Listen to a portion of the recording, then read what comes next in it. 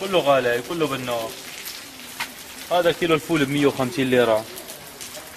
هاي البطاطا ب 150 هذا كيلو الليمون ب 100 يعني شو بدي أحكي لك يا أخي؟ كيلو البصل ب 35 يعني الأمور سيئة قد ما تتصور طيب هاي ال- البضاعة منين عم تجيبها يا أخي هالخضرة والله هاي البضاعة هون كلها شغل الأراضي المزارع يعني ما في خضرة من برا. شو السبب؟ ما في يا أخي الطرق مسكرة كلها وحواجز وانحصار كل شيء. يعني شو بخطر على بالك فيه. طيب يا أخي أنت هون وسط هالبرد وهال البرد القارص هون بمدينة الرسة طيب ليش ما تقوي هاي البضاعة بشي مكان؟ مخزن.